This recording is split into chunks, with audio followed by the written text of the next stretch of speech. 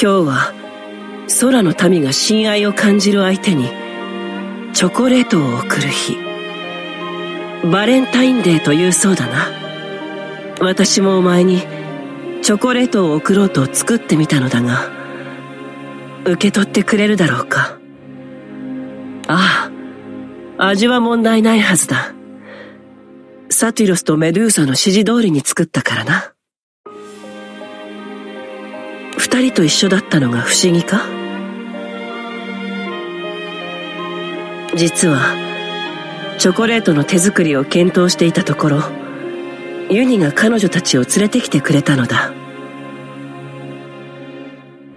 作業の間二人から細かく助言をもらったよ。